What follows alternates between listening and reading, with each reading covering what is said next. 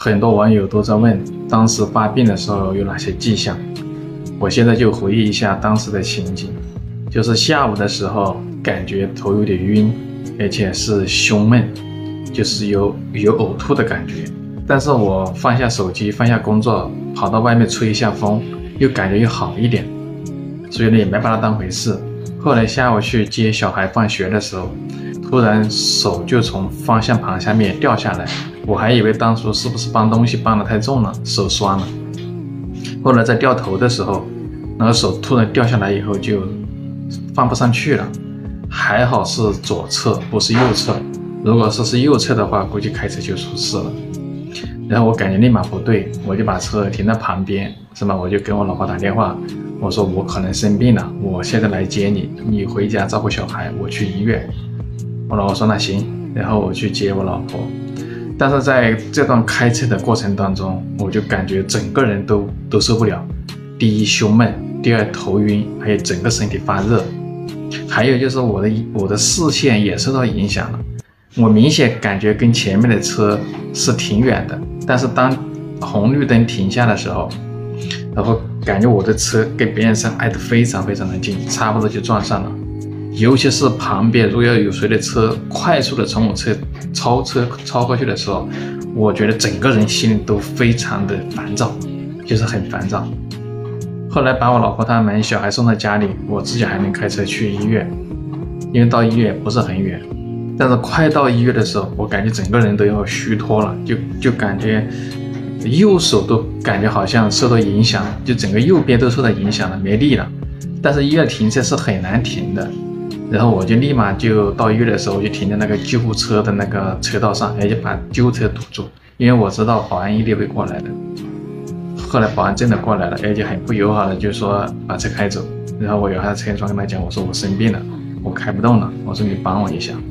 那保安看的情况不对，他说那行，他说你要不要扶？我说那你扶我一下吧。还好他扶了我，因为我打开车门，我左脚先下地嘛，一下就往地上倒下去了。保安。一一手就把我抓住了，是吧？抓住了以后，他就说：“那你要不要扶你去急诊？”我说：“我自己好像还能走，那时候确实感觉还能走。”然后他就帮我去，我说：“你帮我一下，把车停好，我去挂急诊。”然后到了急诊的时候，那个护士一看情况不对，就问我是哪里不舒服。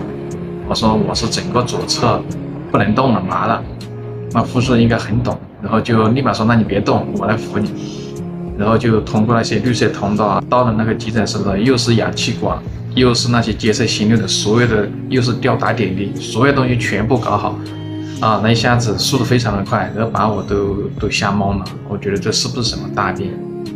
然后通过绿色通道做 CT 啊，做共识症啊，总共大概也只花了二十来分钟时间，全部搞完。搞完以后，医生就确诊说你这个是高血压引起的急性脑梗，是吧？现在问我什么时候发作的？我说应该差不多是两小时前左右吧。他说那行，你现在还可以做溶栓。然后我对脑梗、对溶栓一点都不懂，他就跟我解释了这些原理。解释了以后，然后包括做溶栓，说呃还有包括风险也说了。但是我听到有百分之三会脑出血的时候，我就犹豫了。那医生看我犹豫，他说那你现在伸一下你的手和你的脚，看是到什么程度了。然后那一下就那一下。我伸的时候，我的手和我的脚又出奇的可以动了，就是因为可以动了。我说那医生，我感觉好像没事了，好像因为打了点滴吧，好像我胸也不闷了，是吧？头也不晕了。问他我说我那我什么时候可以就是不住院就就就回家？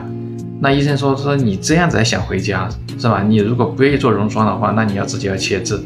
那然后我我也毫不犹豫的就把字给签了，就不做溶栓了。后来说那你去跟你的接诊医生去交流。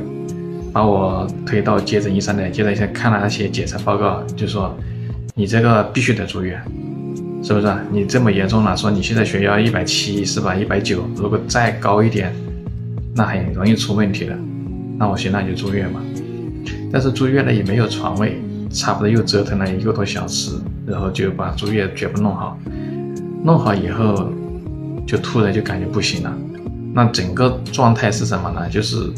我的整个身体不仅是左侧，包括右侧，就感觉整个身体都不能动了，除了还能说话，脖子还能摇，感觉身体就不是我的了。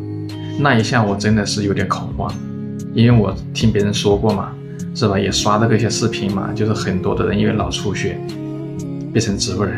我真的那一刻我很担心自己会不会成为植物人，就是自己脑补了很多不该想的，然后就是情况越来越糟糕。然后我就问医生，我说还不能够做溶栓。那个医生说你已经过了时间了，做溶栓没用。那我当我现在到底是什么情况呢？医生说你现在按残废等级的话，现在已经到一级了，也就是一级残废。啊，我听到那话的时候，我整个人。